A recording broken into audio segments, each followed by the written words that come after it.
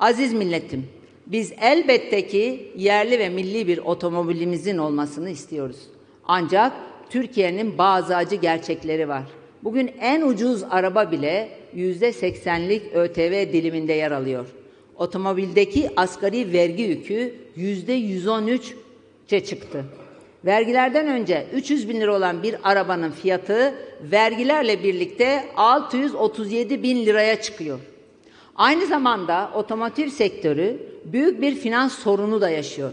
Merkez Bankası borçlanma faizi %19'dan %10,5'a düşerken taşıt kredi faizleri ise tam tersine artış gösterdi.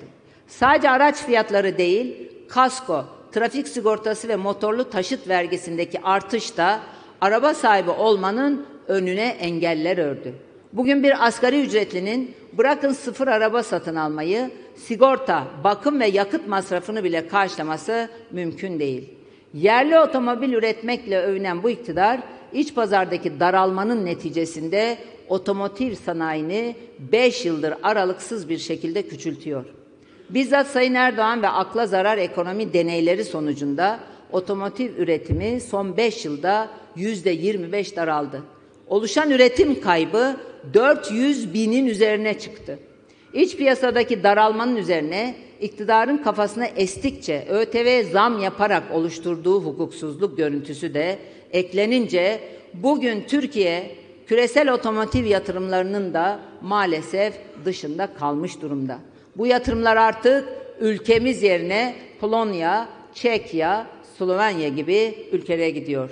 Halbuki Türk otomotiv sektörü tek başına ihracatımızın yüzde on üçünü oluşturan ondan fazla markanın yüzlerce yan sanayi kuruluşunun olduğu dev bir endüstridir. Ve Türkiye için stratejik öneme sahiptir. Biz İyi Parti olarak otomotiv sektörünün gerçeklerinin farkındayız.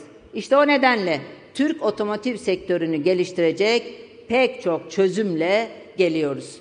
Öncelikle Türkiye'yi çağdaş bir hukuk devleti haline getirecek, öngörülebilir ve kararlı ekonomik koşulları sağlayacağız. Sonrasında otomobildeki ÖTV yükünü kaldıracağız. Karbon salınımı endeksli, çevreci bir vergilendirme sistemi getireceğiz. Otomobili sadece zenginlerin erişebildiği bir lüks olmaktan çıkarıp herkesin erişebildiği temel bir ihtiyaca dönüştüreceğiz. Yani İyi Parti iktidarında asgari ücretli vatandaşlarımızın da rahatlıkla araba sahibi oldukları müreffeh bir Türkiye'ye kavuşacağız. İç pazardaki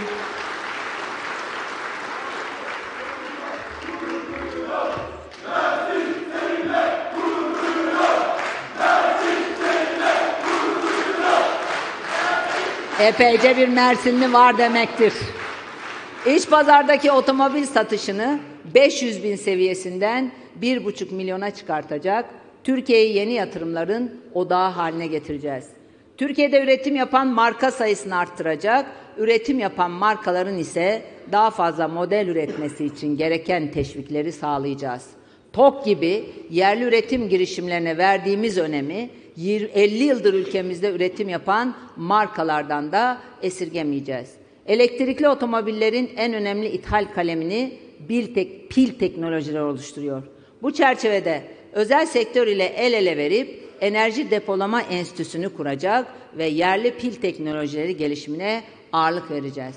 Elektrikli araçların yaygınlaşması için şarj istasyonu kurulumlarını hızlandıracak, gerekli altyapı geliştirmelerini de süratle hayata geçireceğiz. Bunun yanında alternatif olarak son dönemde yeniden gelişim gösteren hidrojen yakıtlı araçlar için de dolum noktaları kuracağız. Şehir içi otobüs, dolmuş ve taksileri 5 yıl içinde sıfır emisyonlu araçlarla ikame edeceğiz. Ayrıca tüm bunların yanında Türk, o, Türk otomotiv endüstrisinin sürdürülebilir gelişimi için kamuda yerli araç kullanımını zorunlu hale getireceğiz.